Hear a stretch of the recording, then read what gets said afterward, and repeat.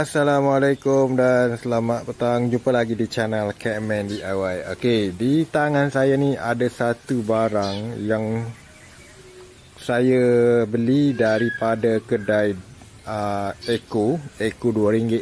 Okey, sekarang dah RM2.4 lah. Okey, jadi apa yang kat tangan saya ni? Okey, kat tangan saya ni adalah screwdriver big. Okey, jadi um, hari ni saya akan uh, tunjukkanlah okey sikit ten cara tentang penggunaan ni lah okey dan juga perbezaan kalau kita beli benda ni dengan screwdriver biasa. Okey.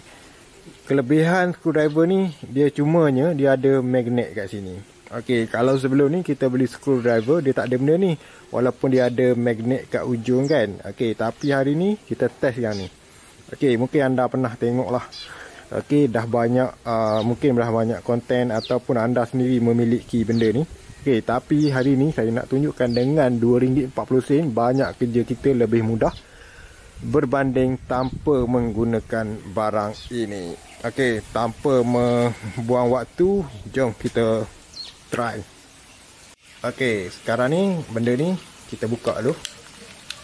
Okey, buka dan ambil. Okey. Okey, ini barang dia kecil je. Okey. Dia nama He Hero. Hero. Ha. Entahlah nama macam mana kan. Okey. Okey, dan dekat belakang ni okey, ni ada satu set lah yang saya dah beli. Okey, yang ni yang jenis lama lah jenis model lama yang tak ada magnet. Yang ni ada magnet. Okey. Dan okey kalau kita beli yang ni untung tau. Sebab magnet ni kita boleh cabut. Okey boleh cabut. Nak guna belah mana? Okey kalau skru tu besar kita pakai pada bahagian besar. Sekali ah ni bahagian besar. Kalau nak guna untuk skru kecil kita boleh letak dekat skru kecil. Sebab dia boleh boleh cabut. Dan boleh pasang pada bahagian-bahagian yang kita nak lah ok contohnya cara pasang dia mudah ya ok sebelah tangan pun boleh. Ok. Uh, ok yang magnet ni kat bawah putih tu dan yang ni masuk dekat sini. Uh, masuk dekat situ tolak je. Ok uh, dia jadi macam ni. Ok cukup lah dekat ni. Uh, dia dalam ni dia ada spray dia macam ok ni ok waktu skru skru tak dalam dia jadi pendek. Tapi kalau skru panjang dia boleh adjust. Ha dia macam ni. Ha jadi dia pegang semua skru lah. Ha, okey contohnya macam ni. Okey contoh. Ni skru kan? Ha dia tak berapa dalam so mudahlah dia masuk. Eh kekok eh apa aku letak dengan kaki ya? Ha, macam ni. Ha macam ni. Dah masuk. Okey so ha dia macam ni. Ha apa tak? Ha so memang dia pegang kuat lah. Ni ah kau tengok. Barang kedai RM2 je. Ha memang padu guna. Ha tak cabut pun tak jatuh pun. Ha tapi kalau nak tarik dia cabut juga. Ha macam itulah Okey, so sekarang kita buat uh, perbandingan. Macam mana kita tengok? Patut ke tak patut beli benda ni? Okey, sekarang ni yang ni saya akan pasang pada cordless sendiri ni. Okey. Okey, pasang kat sini. Okey, masuk kan sahaja. Okey.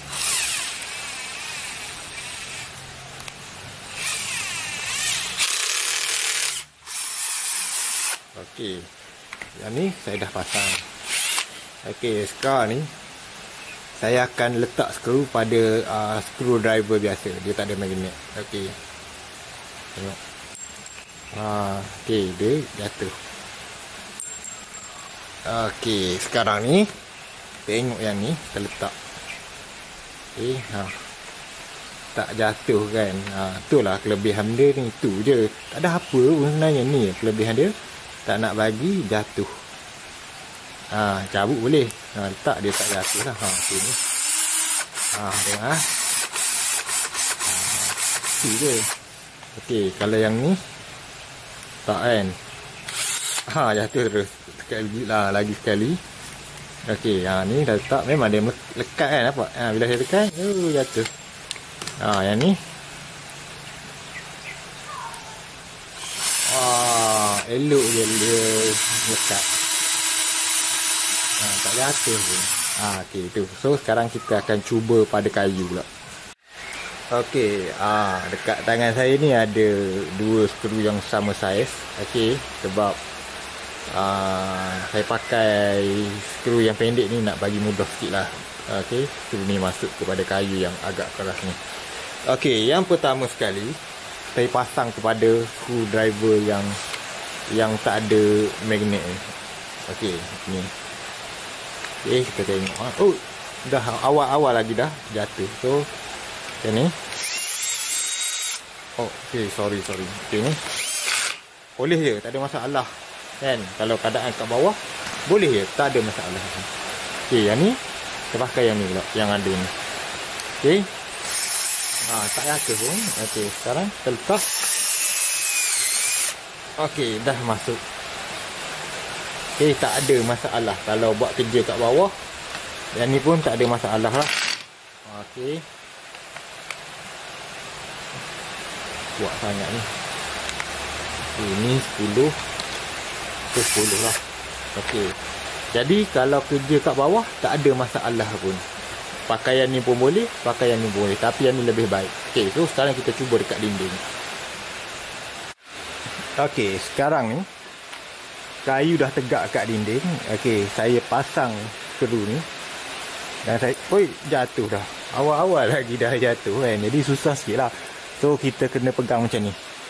Ha, untuk nak ni lah. Ha, dia boleh je masuk tak ada masalah pun. Okey, sekarang ni yang ni. Ni ni. Ni kan. Ha, tak jatuh. Ha, jadi lebih mudah lah. Ha, lebih mudah. So bila kita nak buka pun. Okey, sorry, nak buka pun. Ha, dia tak jatuh. Okey, kita ulang sekali ni. Okey, ni.